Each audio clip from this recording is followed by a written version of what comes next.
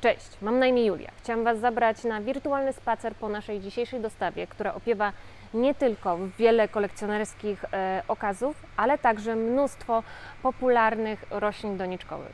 Zapraszam. Syngonium. Roślina, która dobrze się czuje na dość jasnym stanowisku, ale nie o bezpośrednim nasłonecznieniu. Dobrze sprawdzi się parapet okna wschodniego czy zachodniego. Jeśli chodzi o e, podlewanie, lepiej delikatnie ją przesuszyć niż przelać, ponieważ posiada bardzo delikatne korzenie na przelanie. Można również zraszać. Będzie naprawdę bardzo dobrze czuć się w delikatnej mgiełce, uważając na odmiany welurowe, którym lepiej zapewnić e, mały pojemniczek z wodą obok, która dodatkowo będzie nawilżać e, roślinę.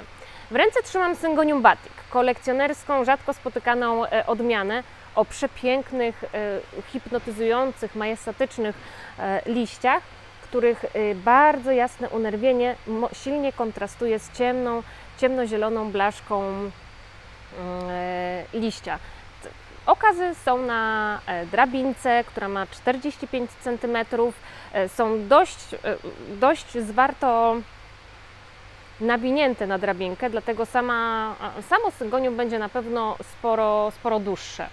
Obok syngonium wendlandii, rzadko spotykana odmiana, właśnie o welurowych liściach. To jest ta odmiana, która nie przepada za zraszaniem. Cała reszta warunków uprawowych pozostaje taka sama, czyli lepiej delikatnie przesuszyć niż e, przelać, czy dość jasne stanowisko. Pamiętajcie, że odmiany welurowe w zbyt jasnym stanowisku e, zaczną płowieć i ten welur zrobi się dużo, dużo jaśniejszy niż taki ciemno, ciemnozielony, ciemny, szmaragdowy.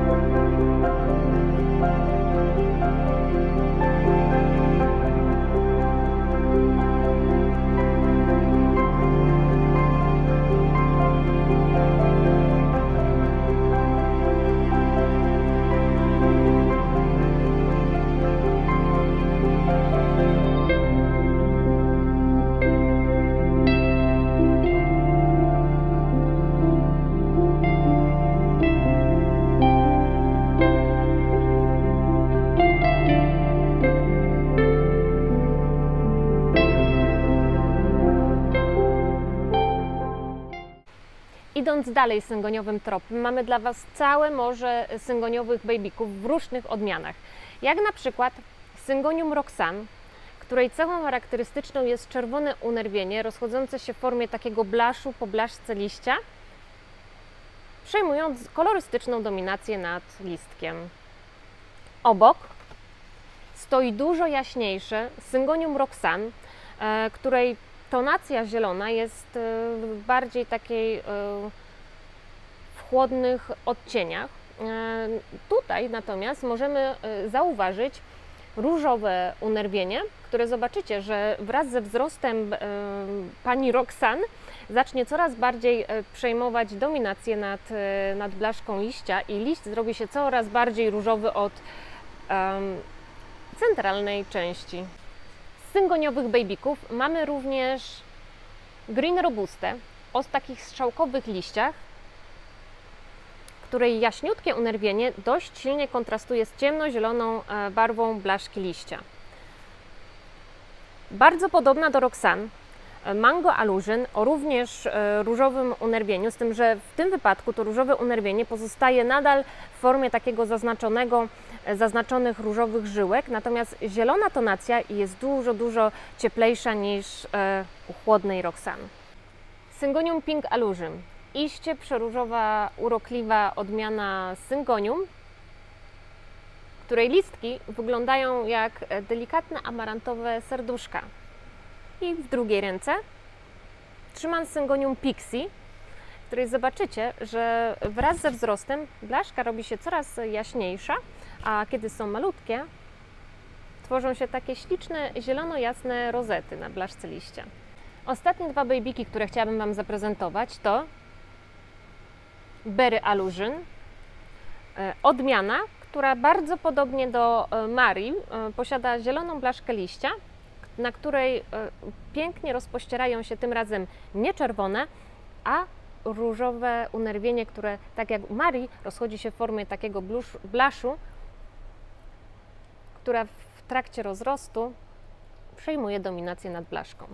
I ostatnia odmiana, babykowa, czyli White Butterfly. Zobaczcie, jakie posiada jaśniutkie, rzeczywiście białe listki, które wyglądają jak białe motylki.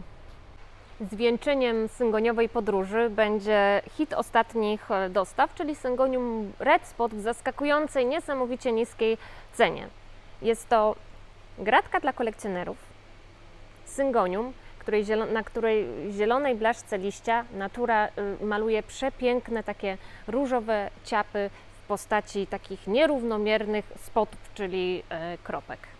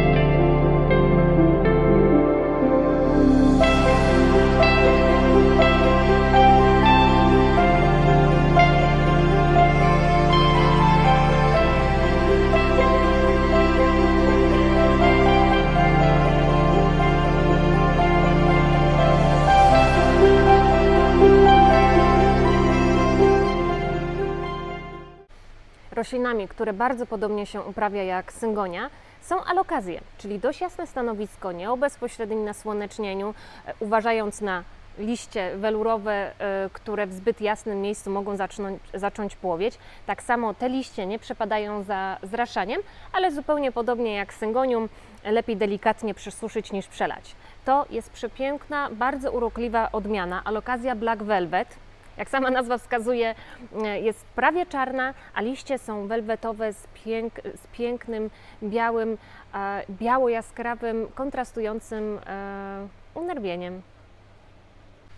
Największą niespodzianką dzisiejszego dnia jest alokazja zanderiana.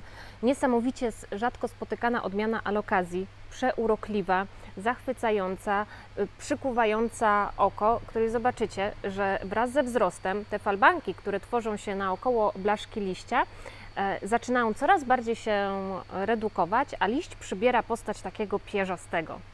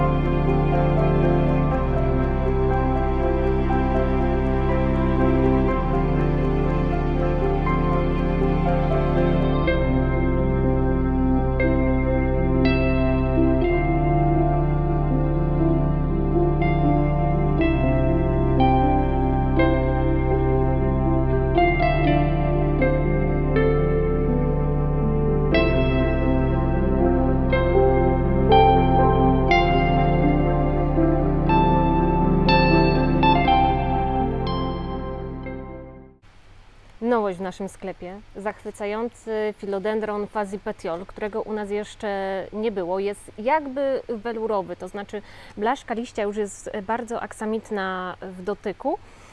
Jest już matowy, ale nie jest jeszcze aż tak welurowy jak na przykład verrucosum. Natomiast tak samo nie będzie przepadał za zbyt jasnym stanowiskiem, ponieważ blaszka zacznie, zacznie płowieć Na pewno lepiej sobie poradzi z delikatnymi przesuszeniami e, podłoża niż, e, niż przelaniem i odmiany niewelurowe e, ze spokojem mogą być zraszane. Równie efektowną odmianą filodendrona jest filodendron subhastatum, który jak już widzicie największym hitem i cechą charakterystyczną tej odmiany jest spód liścia o takich bordowych przebarwieniach przypominających nieco wierzchnią warstwę blaszki liścia bananowca. Z dość sporych odmian, równie urokliwych, jest Philodendron Little Phil o bardzo strzelistych, wydłużonych, e, wydłużonych listkach. Filodendronem, który z taką samą mocą cały czas niezmiennie chwyta nas e, za serca, jest olśniewający, welurowy Philodendron verrucosum o ciemnozielonej, szmaragdowej tonacji zieleni i fantastyczny, e, fantastycznym unerwieniu, który się pięknie rozchodzi od centra, centralnej blaszki liścia.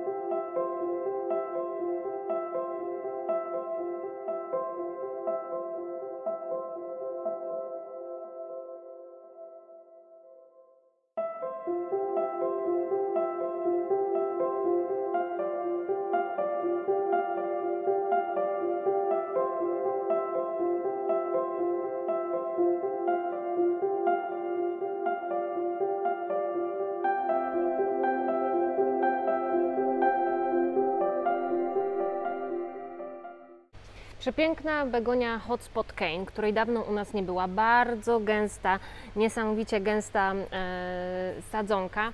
Liście standardowe jak u begonii, strzeliste, ze ślimaczkiem centralnej części, pokryte trylionem srebrzystych mm, e, kropeczek. Jest to e, akurat odmiana niewelurowa, niezbyt pokarbowana, także delikatnie, naprawdę delikatnie, taką e, mgiełką, metr nad rośliną możemy ją zrosić. Pamiętajcie, żeby nie dopuszczać do przesnięcia podłoża begonii, bo od razu zacznie zrzucać dolne dolne liście i postawcie ją w dość jasnym e, stanowisku, ale niezbyt jasnym, bo zobaczycie, że blaszka liścia e, zacznie, zacznie jaśnieć.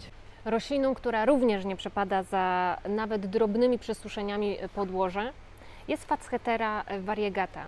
Bardzo czarująca roślina, zobaczcie, liście do złudzenia przypominają liście bluszczu z takimi pięknymi, białymi wybarwieniami na swojej blaszce. Jest to roślina, która nawet delikatne przesuszenie podłoża od razu doprowadza do, do gubielnia dolnych liści. Natomiast jest to roślina, która posiada niesamowite e, magiczne wręcz e, właściwości, zdolności odradzania się. Po każdym przycięciu roślina bardzo szybko zaczyna odbijać i każde nowe odbicie e, bardziej dostosowuje się do warunków, w którym w których się rozrastają i już nie wymagają tak wilgotnego środowiska jak ta, która wyszła ze szklarni. Przyjechały również dzisiaj arbuzowe peperomie, watermelon, o pięknej blaszce y, liścia, który rzeczywiście e, blaszka wygląda jak y, skóra arbuza. Pamiętajcie, żeby podlewać ją dopiero kiedy podłoże dobrze przesnie i zapewnijcie jasne stanowisko. Nie zraszajcie. Mamy dla Was również niesamowicie bajeczną, drobną, urokliwą, cudowną roślinę, jaką jest Pila glaukopyla. Zobaczcie. Jest srebrno-miętowa, cudowna. Rośnie nie najwolniej, także bardzo szybko te e, półlistne pędy, bo zobaczcie, jakie są odstępy pomiędzy, e, pomiędzy między węźlami. Zobaczycie, jak one szybko będą się rozrastać. Pamiętacie Alpinie Zerumbet Variegate? Zobaczcie, jakie prześliczne, bardzo ładnie wybarwione, drobniutkie sadzonki do nas przyjechały, babykowe w rozmiarze S. Pamiętajcie, żeby utrzymać to mm, bajeczne wybarwienie na blaszce liścia, zapewnijcie jej dość jasne stanowisko, ale nie zupełnie na, o bezpośrednim nasłonecznieniu, jakim mogłoby być na przykład parapet okna południowego. Nie dopuszczajcie do całkowitego e, przeschnięcia podłoża i możecie ją ze spokojem zraszać.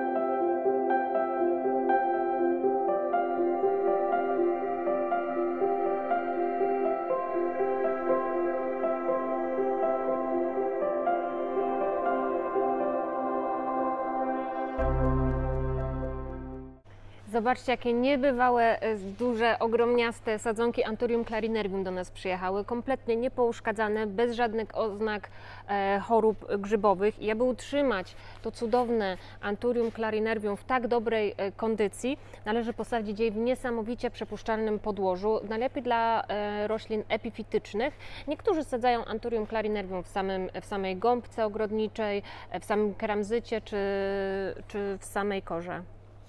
Należy zapewnić dość jasne stanowisko, ale pamiętajcie, że w zbyt jasnym miejscu welur zacznie, e, zacznie płowieć. Nie należy dopuszczać do całkowitego przesunięcia podłoża i Anturium uwielbia wilgotne środowisko, w którym się znajduje, ale pamiętajcie, że niestety, ale zraszanie bardzo szybko będzie powodować choroby grzybowe, które w niesamowicie zaskakująco szybkim tempie zajmą tą piękną, sercowatą blaszkę, welurową blaszkę liście, która jest praktycznie prawie czarna, a na niej rozpościera się przepiękne, białe unerwienie.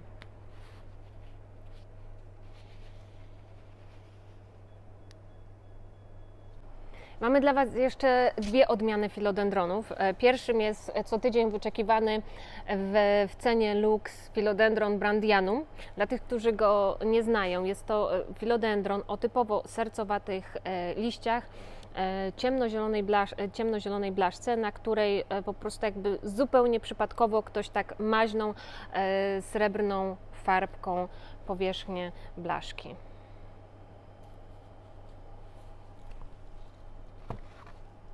I coś, co jest u nas e, prawie co tydzień, czyli Philodendron e, taki tak zwany rudzielec, roślina, która za chwilę będzie bardzo pasować do jesiennej e, aury panującej niebawem za oknem.